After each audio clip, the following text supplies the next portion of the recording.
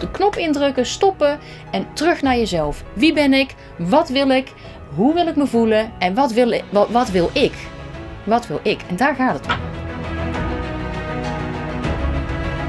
heeft ons heel goed leren kijken, ehm, vooral om buiten de paden te lopen. Haar opdracht was uh, leer mensen groter durven dromen. Te laat je op zoek gaan naar je kracht. Wij hebben aan boord uh, drie hutten met twee badkamers en dat zijn ook echt gewoon slaapkamers.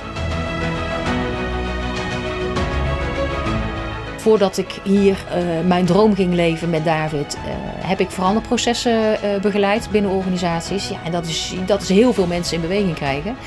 Um, en zit je één op één en in groepen ben je met mensen bezig. Dus ik heb wel de nodige ervaring hoe ik weet hoe, hoe je mensen in beweging kunt krijgen. Dat was eigenlijk meteen unaniem, was het helder voor de groep, wat we dus nog niet eerder hadden meegemaakt. Dit wordt het, hier gaan we gewoon voor. En nou, dat is een juiste keuze gebleken.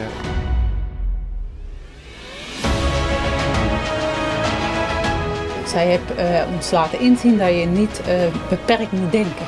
Heel erg leuk, heel verfrissend. Het is niet dat het iets dwingends is. Zij laat je echt zelf uh, het gevoel krijgen van, oh ja, dat kan ik. We hebben een skipper aan boord, dus wil je de knopen leren en wil je mee aanmeren en wil je aan het roer staan, prima. Maar zeg je van joh, dat vind ik helemaal niks. Of laat mij liever een boek lezen voor in de trampoline, ook goed.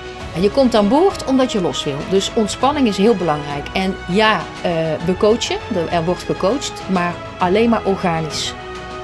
Doordat zij vanuit vertrouwen is gaan handelen, vanuit persoonlijke feedback, persoonlijke coachingsgesprekken, zijn mensen meer gaan durven. En dat was de opdracht. Wij hebben het toch gedaan. En ik, wij kunnen je nu vertellen hoe dat het is om uit je gouden kooi uh, te vliegen. Je moet jezelf weer helemaal gaan uh, herinneren, herinneren. Uh, en dat is wat je hier aan boord perfect kunt doen.